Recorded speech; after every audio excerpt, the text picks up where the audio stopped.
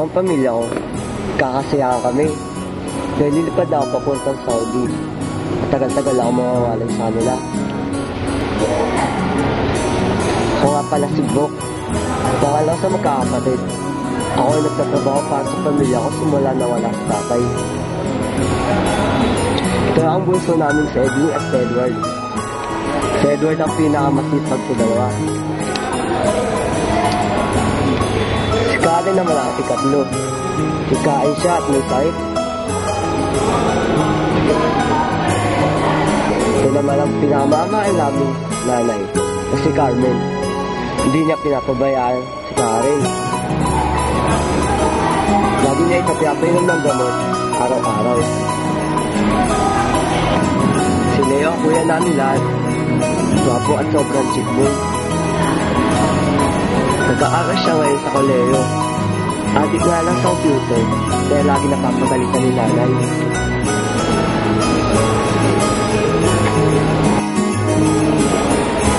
Kaya sa kabila ng kasiyang ito, nilinis ko silang lahat.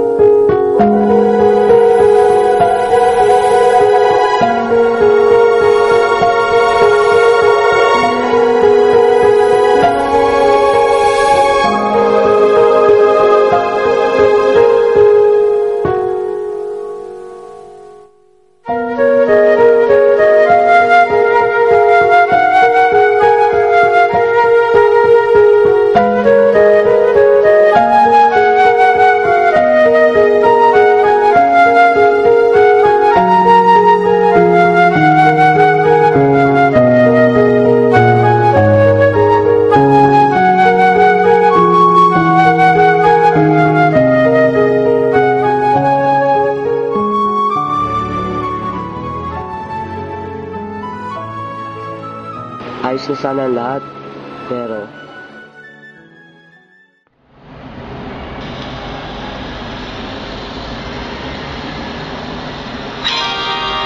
When the music fades You were calling me, sir? Yes, please sit down. Thank you, sir. We're sorry, Mr. Santos. We are canceling your employment for this year. What? I came here six months ago.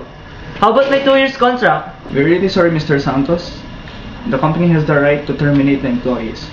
No, no, no. You must be joking, right? With family relying on me, this job is important for me. Mr. Santos, you may leave.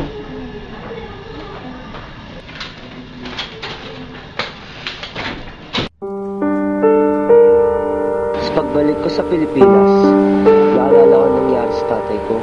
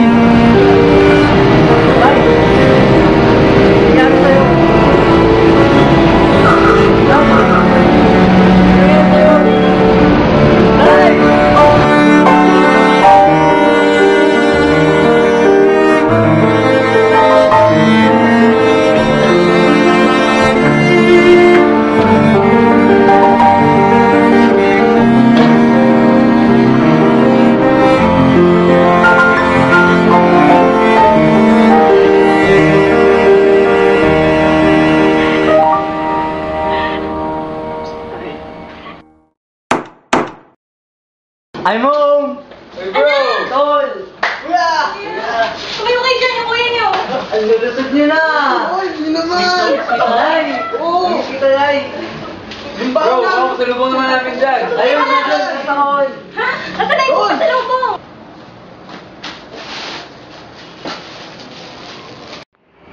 O, Karen, pasalubong ko sa'yo. Salamat, kuya. Nagustuhan mo ba? Siyempre naman. Anak, ba't parang nasaan na naman yata yung uwi mo? Eh, di ba six months ka pa lang dun sa may, ano? Ay, Diba? hindi, Nay. Dahil vacation ako ng boss ko. Buti nga pumayag siya eh. Ah, ganun ba? Bro, bro, kaya na magbaban dyan. Pasok ko ngayon eh. Bawal? Magkano ba kailangan mo? Ikaw na bahala. Kakauwi mo lang eh. Oh, basta pag-aaral ah. Q, you're the best. Okay, ingat.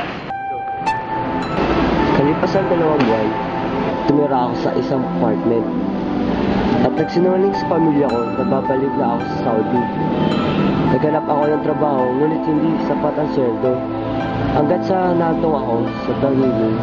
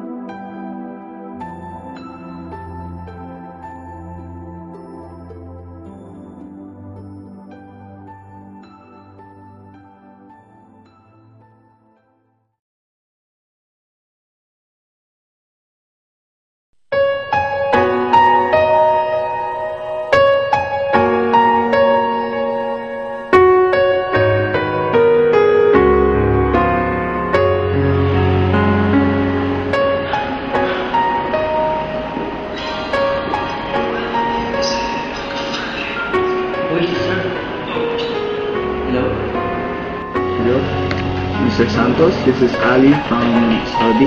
We are happy to inform you that because of your outstanding performance when you are working here, we want you back here and work as soon as possible. Really, sir? Thank you very much, sir. Yes, yes. So please do it.